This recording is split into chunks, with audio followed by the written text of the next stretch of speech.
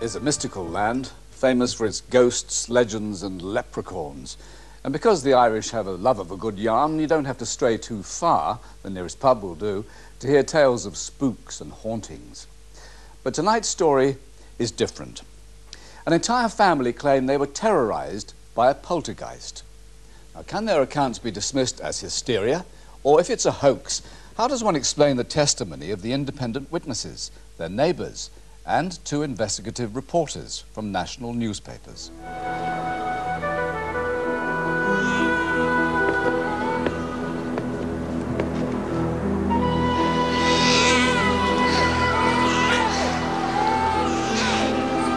Come on, sister, hurry. I'm coming. We're nearly there. Come on, sister, hurry.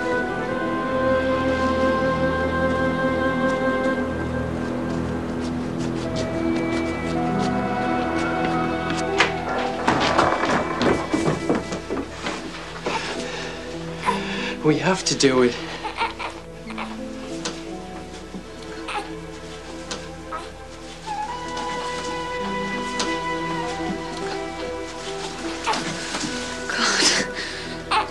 What are we doing?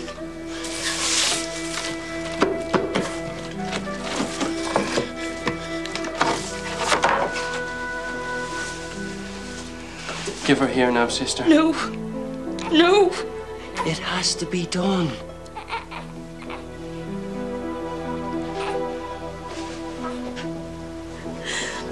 May the Lord forgive us.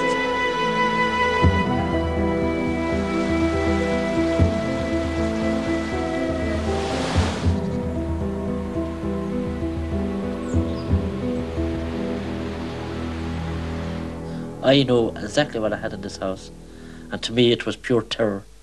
And all I wanted to do was leave this house and never come back to it. We were all scared. You know, I didn't even want to go to work. I said, well, my home is not the same. I mean, I know what happened.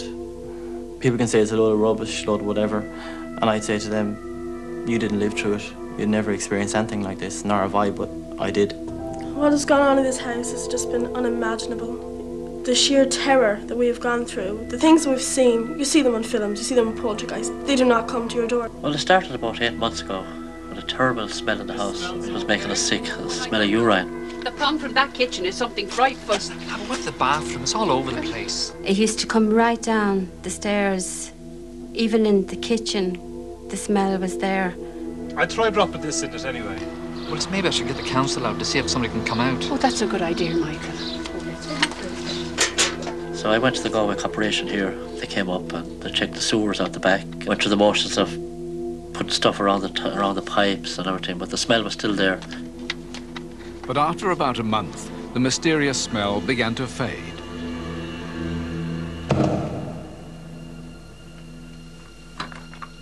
What was that? God, I don't know. I'll go and have a look. Well, we were walking one night, Esther, with, a, with just an unmerciful thump. So I jumped up out of bed. I checked the baby's room. The first place I went was the baby's room. She was fast asleep. Came downstairs, checked the front room and the kitchen. And uh, there was nothing, so I just shoved it off and went back to bed.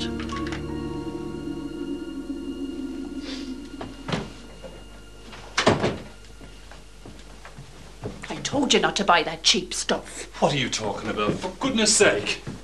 That ceiling paint in Michael's room, it's flaking off all over the place. She called me, she said, Jackie, there's flakes Would you after falling off the ceiling from the paint. So I went down to have a look at them and I picked up some in my hand and they were eggshells. This isn't paint. I said, well, Michael doesn't eat eggs, doesn't like eggs. I don't know. It looks like eggshells or something. The Fahys shrugged off the strange happenings.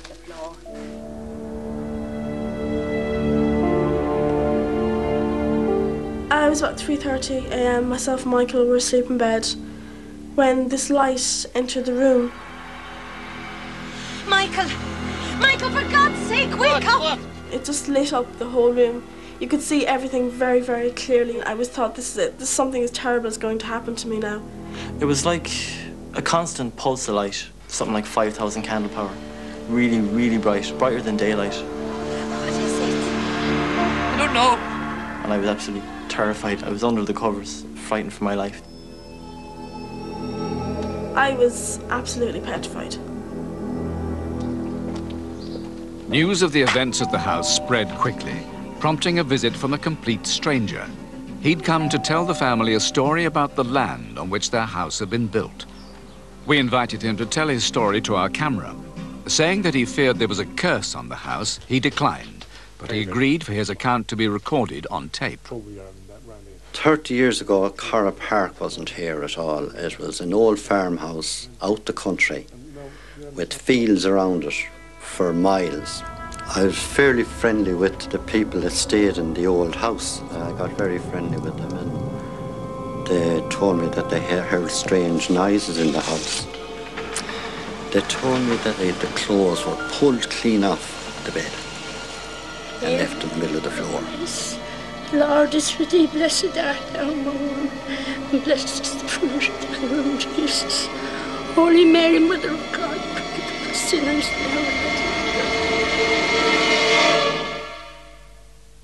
and at You've got the number if you need us. Yeah, yeah.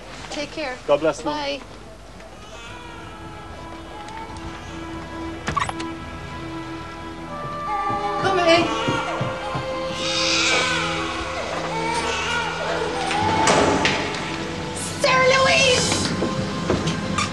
I just went up to check, and all of a sudden the door came out in my face. So I came downstairs and I ran out to the neighbours crying, and I told her what was happening. Well, Martha was terrified. She was bawling, crying. She was very, very bad, you know. And she asked me would I go out and check on the baby.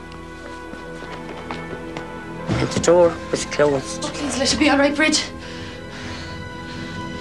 I went in and checked on the baby. She was fine, you know. Thanks be to God. When Michael and Mary came home that night, Martha told them what had happened. I was terrified, oh, wasn't I, Sarah Louise? Martha refused to come into the house. She was adamant, no way. She was too scared. But you're all right now. Yeah. But I need some things for Sarah Louise. There's a bag near the banister. I'll go and get them. Better go with her. There was no way she was entering back in that house. So myself and Mike braved it and went in, but no way would Martha. We came back into the house and we were very, very frightened going in, like, 'cause we had to grab the baby's clothes and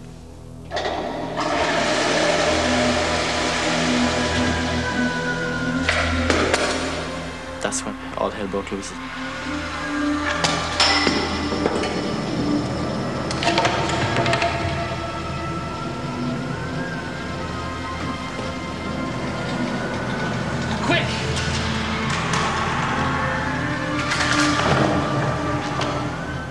And then we heard a big thump, and we both ran in. The coffee table was upturned. So we said, that's it, we have to get out of here. We can't That's stay it, here we can't tonight. stay here. Let's, let's get out.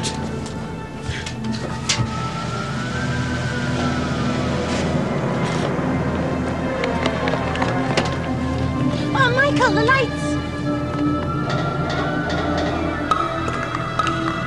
It was just pure terror. I mean, I've never been so afraid in my whole life. This was probably the worst thing that ever happened. Driving away, and we looked back, and there was this big black shadow on the house. It didn't look like our house. In the panic, the Fahys dog Bundy was left in the back garden. Breedley's son Patrick was sent to feed him. So my father gave me the food, and uh, I hopped over the back wall, and I fed the dog. And when I was feeding the dog, the light just started flickering on and off. Like, I thought it was a lamp at first, but it was too bright to be a lamp because it lit up the whole kitchen. And uh, I was, I was just, I was so scared. Like when I seen it, I kind of stood back. I just got so scared, I nearly wet myself. I just, I said, I'm getting out of here quick. I told my parents then what I'd seen. The light was flickering on and off, and uh, they couldn't believe it.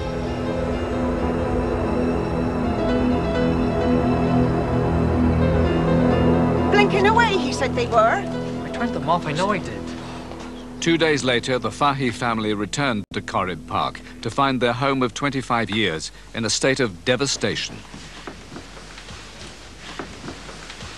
Oh, Jackie, I'm not going to spend another night here. Now, come on, Gertie, be all right. Do you want me to call in the church? No, no, we don't want to go bothering the priest. Well, things got so bad, we didn't actually sleep here any night. We went to Breach Lee's next door, we slept on the floor, we huddled together. we're more comfortable out there than we were in here. No longer able to sleep in their own home, the Fahys decided it was time to seek help. I don't think this is a good idea at all. It'll drive the thing more wild, I'm telling you. Oh, oh okay, I'll, I'll I'll do that. What did he say? Well, your man says I need more proof before they put it in the paper. One night, my dad and I decided to tape the noises, just get some proof that we weren't actually hearing this in our minds. Like, There's no tape in the machine. She told us not to mess with it. It started again. Well, I felt like the thing they didn't want us to record it. And we panicked. So we all ran downstairs. We got to the bottom of the stairs. And next thing we heard this baby cry. I was the only one who actually couldn't hear anything. I didn't hear it. I wanted to hear this for myself. I actually realised it was a porcelain jug that whizzed past me and hit Sarah Louise's room. I was terrified, I was scared, I was crying. It was pa- it was total panic. Determined to return to their home, the Fahy family decided it's time to seek help from the church.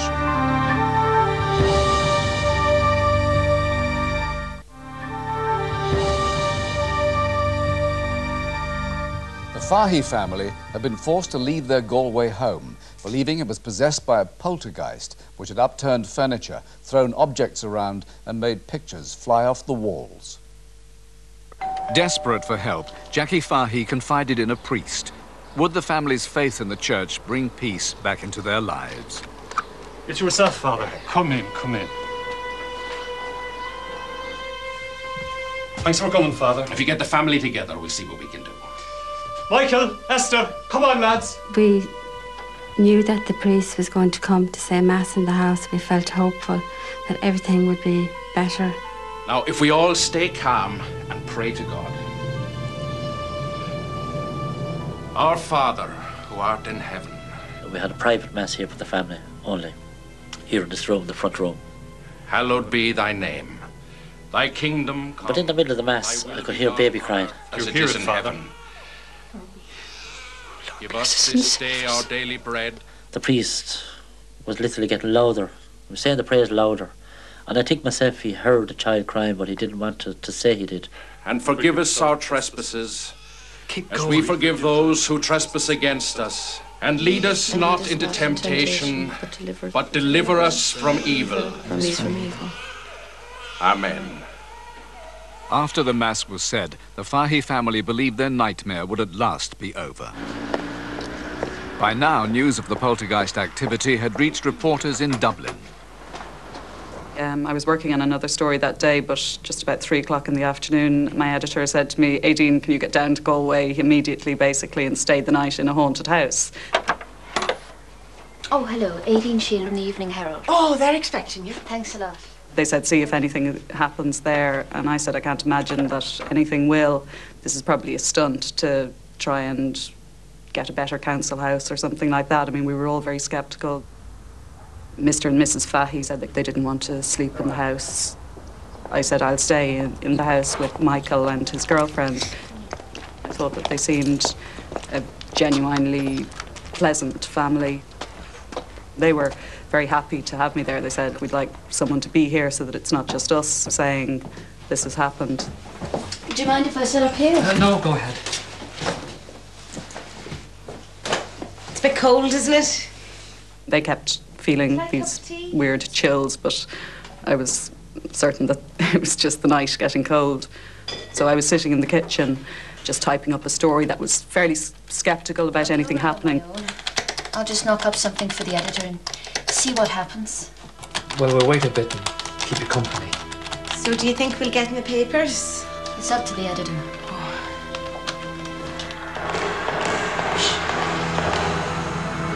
Did you hear that?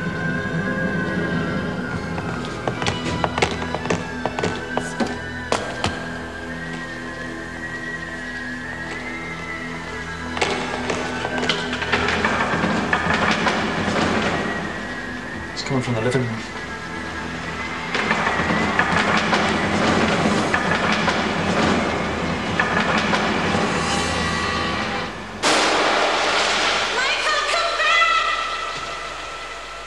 Well, I just heard this massive crash and I just leapt to my feet and Michael and myself and his girlfriend, we raced back into the room because uh, just couldn't imagine what had happened. It sounded as if the roof had fallen in or something.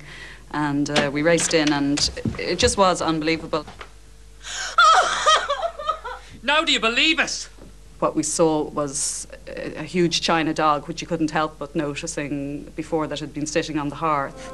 Um, it had smashed into smithereens. It was just all over the place. Um, and the television had been, which was beside where the dog had been sitting, was pushed backwards on its table. And there were pictures that had been upended on top of it. Um, there was a kind of layer of soot on top of the television, and there was a picture above the television that was now crooked and it had been straight before. So at this stage, I, I was getting kind of spooked. And I mean, I hasten to add, I'm completely atheistic and I've no I've, I've never had any sort of fear of paranormal things or any belief in them whatsoever. I went in and I was astounded by it and I was just desperately looking to try and find some kind of physical explanation and I couldn't. After Aideen Sheehan's story appeared, investigative journalist Declan White joined high-profile psychic Sandra Ramdani at the Fahys home.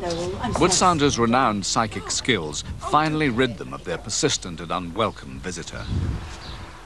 In 90% of the cases I'm called out to, there's absolutely no form of paranormal activity involved. Uh, what we have sometimes is overactive imagination, knocking pipes in the house, or other factors explaining, creaking floorboards maybe, um, to explain the disturbance that's going on. I really had read quite a lot about the case in all of the newspapers, and it appeared to me that here was a family living in terror who'd been put out of their home by a spirit. I thought the least I could do was go and try to help. I'd just like to do a check on the house first, okay? Being a hard-nosed reporter, you have to go down, check it all out. Were the people looking for a new council house? Is there some other story here behind it? Are they genuine? So we were there for two days.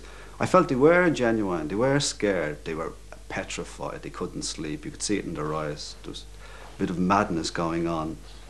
This was a great story. This splashed in all the national newspapers. It was the main uh, lead on the TV news. It went around in all the uh, radio programs. Everybody in Ireland was talking about it, and I wanted to be there for the scoop. When I entered the house, I was immediately aware that there was a spirit presence. I felt that this was a spirit who hadn't moved on properly, and that the spirit and the whole house, in fact, needed healing. Michael, Mary, Martha, and Declan agreed to join Sandra in a seance. And uh, anybody who'd like to come in, you're welcome to come in now.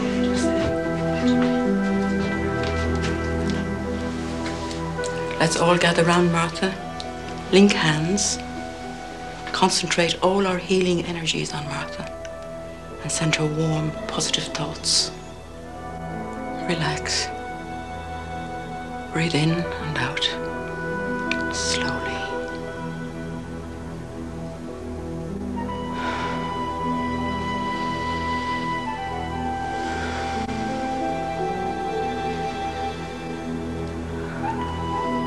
I can see a spirit, a tiny newborn baby wrapped in a bundle. There are two people with it, young people. They're wearing black. They're running, running. They feel shamed. They must hide their terrible secret. Give her here now, sister. No, he's taking the baby. He's taking its life. May the Lord forgive us.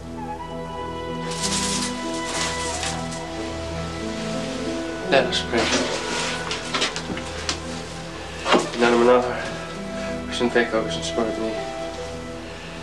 sé do bhá When I tuned into the spirit, the impression I got was this was a very young baby, a newborn infant maybe, that had been murdered at birth. I felt the mother was a nun and that the father was a priest. And this child had been smothered and buried underneath what appeared to be an old farmhouse. We must focus all our healing energies on that little baby and help to release the spirit from It's eternal pain.